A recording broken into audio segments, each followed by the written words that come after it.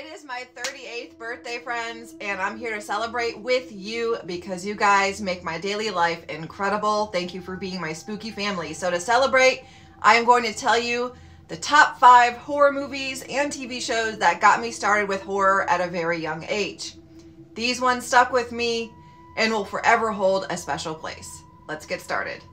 Forever, my number one favorite TV show of all time Are You Afraid of the Dark? This came on Nickelodeon, Nick at Night. I used to watch this all the time, every day after school, faithfully.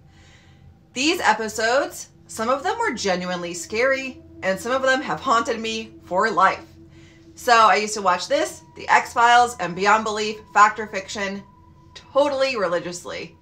Let me know if you guys have some favorite episodes in the comments. Next up is American Gothic starring Yvonne De Carlo. And I have to tell you guys, this was one of the horror movies I watched at a very young age and it did stick with me. It's about a group of friends who end up having their plane kind of crash on a remote island. And they come across this house that is extremely desolate. And Ma and Pa live there with their children who are complete psychos and want nothing more than to kill these kids. So, this movie is very eerie, very creepy, and is kind of a cult classic. But don't expect a crazy masterpiece. This is a kind of cheesy cult classic film. But I found it creepy and scary at a young age, and I watch it now and I still find it creepy. Is Child's Play. I still watch this movie all the time to this day. This movie is forever rent free in my head, especially when the mom finds out that there are no batteries in Chucky. That part still scares the hell out of me. I love this movie wholeheartedly, especially the sequel.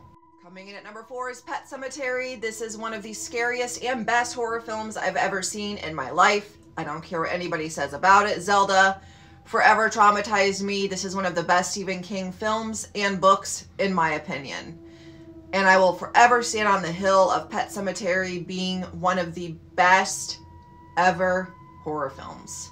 And finally, the supreme of all supremes, The Exorcist. This will forever be my number one scariest of all time. You ask my number one of all time, it is The Others of Nicole Kidman, as you guys know, but my number one scariest goes to The Exorcist.